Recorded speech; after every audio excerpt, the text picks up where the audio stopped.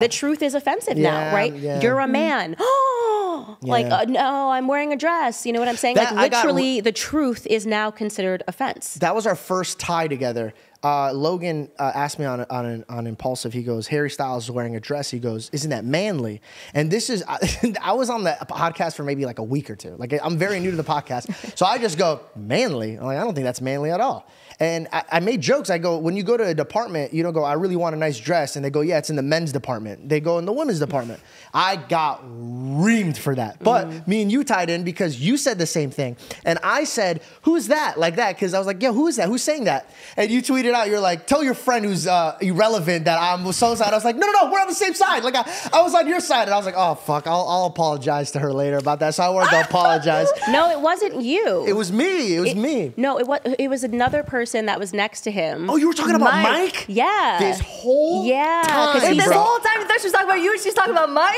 Yes, bro. Yeah, because he said so I remember watching this clip and he didn't just say like, "Oh, who's that in a dress?" He said it was it was actually regarding BLM and he was on his like pro BLM pitch, Paul, uh, Logan Logan Paul, and he basically was saying that my perspectives on it. I don't know what he was saying, but essentially he was very pro BLM and they were trying to say that I was deranged for being a black person who held a different viewpoint.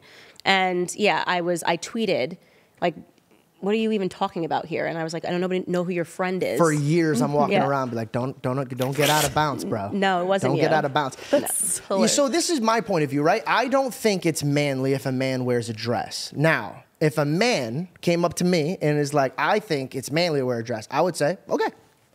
I wouldn't. I don't need to argue with it. So I don't understand that. The, like a lot of people want to stand up for what they believe in, but as soon as I speak about what I believe in, it's wrong. Yeah, because they're lying. But I just don't get So- that. How do we get to a friendly argument? Like, right, how do I get to somebody that has these viewpoints and be like, dude, I get it. You think that wearing a dress on a cover of a magazine or or these men acting like women and and in movies and and uh, I, Katt Williams was talking about this. Everybody has their own points of views, but I've never in my life ever heard somebody else's point of views and got so upset mm-hmm. that I was like, no, they need to see it from my point of view. I think that's what makes the world beautiful, bro. Even the people that I truly don't even agree with, it's at least we could get on a common ground and be like, yo, I don't agree with you, but could you at least respect my my mm-hmm. opinion? Actually, you know, if we had that, if we had an agreement that, you know, if we were respectful in that way, I feel like then the school system wouldn't be so messed up the way that it is because then we would respect the fact that there are two sides and one mm-hmm. side wouldn't only be taught, right? Mm-hmm. Both sides would be taught and then the students would be able to make their decision as to where they want to go. Right. But that's not the case, right? Well, the reason that people get upset, just to kind of answer your question of why that is, you only get upset when you're lying, right? The lie hates hearing the truth, always.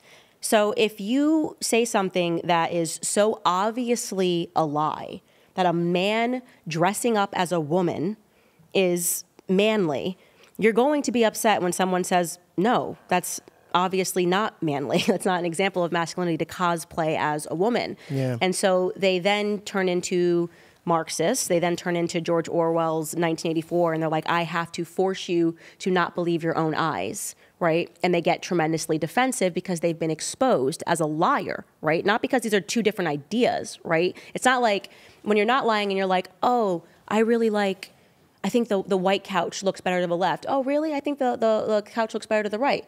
It's a difference in opinion, right? Mm-hmm. But when you're outright lying, it comes with anger and it comes with defensiveness. So in that moment, which I didn't see, if Logan Paul is literally saying something that is so absurd and so untrue, if he actually thought that wearing a dress was manly, he would do it.